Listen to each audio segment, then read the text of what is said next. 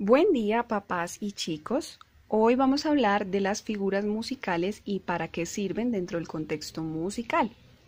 Para empezar voy a explicar qué son las figuras musicales.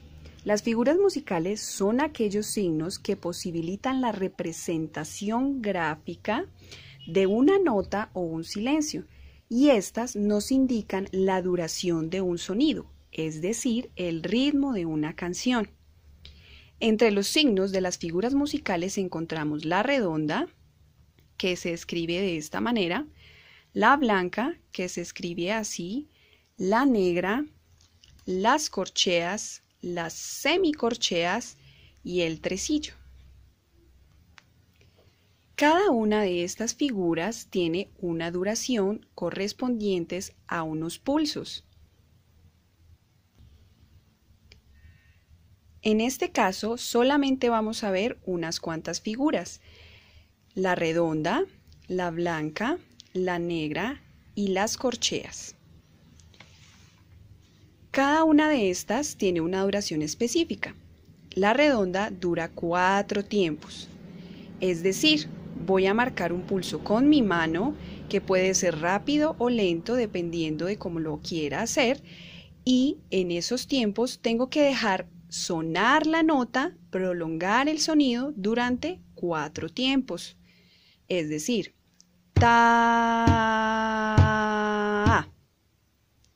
La blanca tiene una duración de dos tiempos y la voy a dejar sonar dos tiempos o dos pulsos, es decir, dos palmas de mi mano.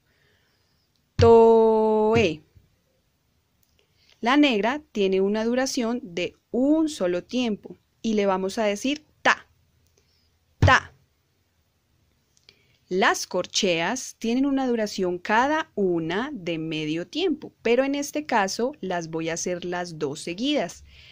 Es decir, van a sonar en un solo tiempo y les voy a decir titi, titi.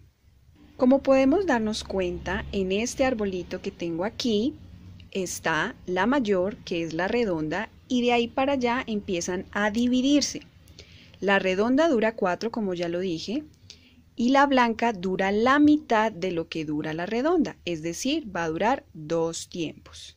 Si yo quisiera sumarlas después, una blanca más otra blanca me daría una redonda. La negra es la mitad de la blanca, por lo que si la blanca duraba dos, la negra va a durar solamente un tiempo. Si yo sumo una negra más otra negra, nos va a dar una blanca y las corcheas es la mitad de lo que dura la negra.